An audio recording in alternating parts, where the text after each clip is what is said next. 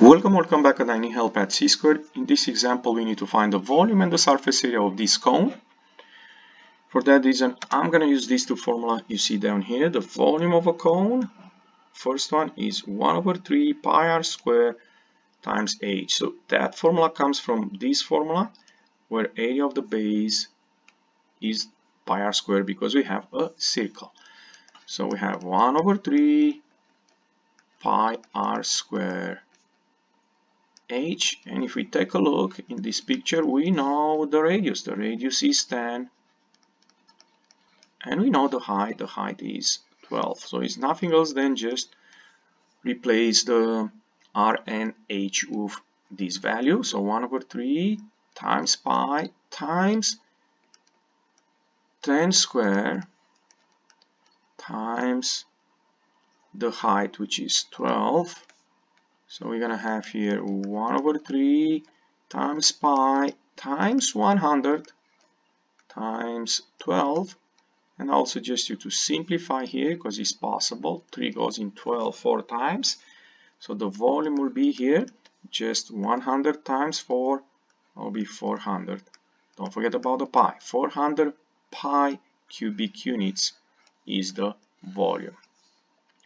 We can move to the second part, the surface area, and you notice here we have the surface area equals the lateral area plus the base, but we have also this formula, pi r L. This L is the slant height of this cone plus pi r square, and the first part is the lateral area in case you need it, and the last part is the base. As you notice, we need to find that slant height, which is this guy right here. For that reason, I can draw this triangle, and OA is the radius, is going to be 10. And we have this 12 here, and that is a right triangle. 10, 12, and this is the slant height, which I'm going to call it x here, and I'm going to use a square plus b square equal c square. So I'm gonna have 10 square plus 12 square equals x square 100 that is 10 square 144 is 12 square equals x square.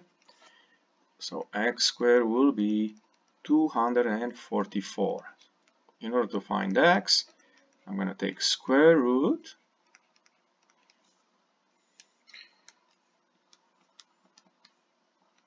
and that will be in the simplified form 2 square root of 61. Now we can go back in this formula and we have the surface area will be pi times r. r is the radius 10, l like I said is this slant height which we calculated here 2 square root of 61 plus pi times r square r is 10 in this case 10 square. So we have here 10 times 2 which is 20 20 pi square root of 61 plus 100 pi. This is an answer in terms of pi.